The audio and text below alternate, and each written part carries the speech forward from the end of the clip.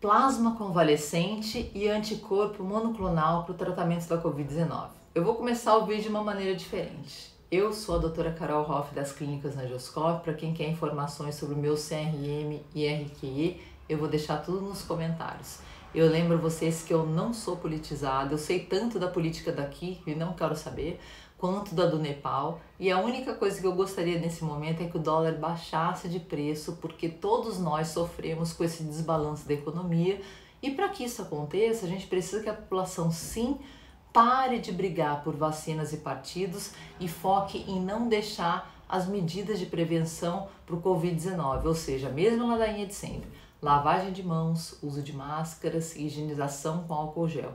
Isso não vai mudar tão cedo, meus amigos. Olhe o que está acontecendo na Europa com a segunda onda e aprendam com eles que estão à nossa frente na evolução da pandemia.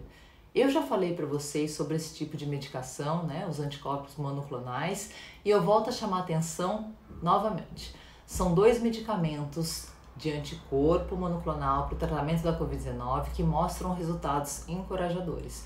Eu vou começar explicando sobre o plasma convalescente. Bom, plasma é uma parte do sangue, a gente está falando nesse caso do plasma de quem já teve Covid-19 e que produziu anticorpos de uma maneira grande o suficiente e doou sangue para o tratamento de outra pessoa. Quais são os contras?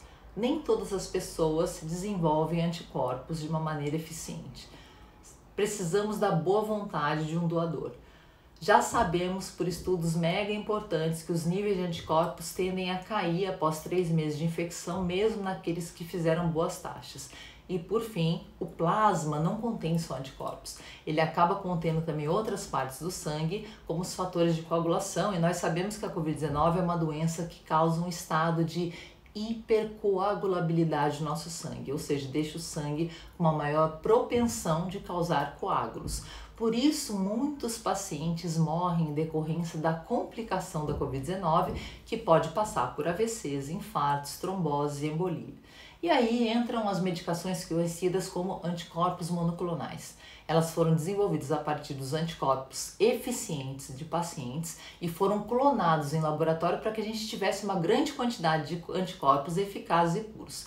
São duas as empresas que estão mostrando os resultados desse tipo de tratamento, a Regeneron e a Eli Lilly. E segundo o site Medscape, notícia do dia 28 de outubro, com respostas muito promissoras. Ambos os laboratórios anunciaram os resultados já em fase 2 para 3, mostrando que as medicações reduziram significantemente a carga viral e as visitas médicas do paciente, tanto em nível de hospitalização, internação, necessidades de ida à emergência e mesmo consultas, tanto presenciais quanto por telemedicina. O interesse desse tipo de medicação aumentou depois que o presidente Donald Trump mencionou seus benefícios depois que ele foi usado essa medicação no próprio tratamento do COVID-19 no início desse mês no presidente. Para vocês terem uma ideia, no caso do Regeneron, houve uma redução média maior do que 10 vezes na carga viral em comparação com os pacientes que fizeram utilização do placebo, ou seja, foi o grupo de pacientes que estava tomando a droga falsa, sem efeito.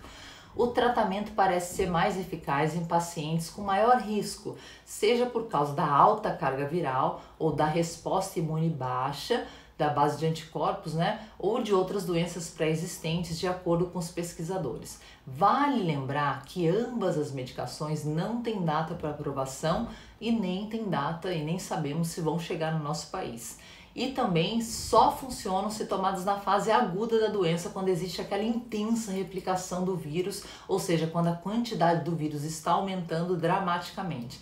Depois que a gente já entrou na fase de tempestade inflamatória, esse tipo de medicação já não mostra eficácia. Os resultados da medicação produzida pelo laboratório Eli Lilly já foram publicados no New England Journal of Medicine, que é uma revista muito conceituada, e mostraram uma queda de 99,97% da carga viral, usada numa, frase, numa fase precoce da doença.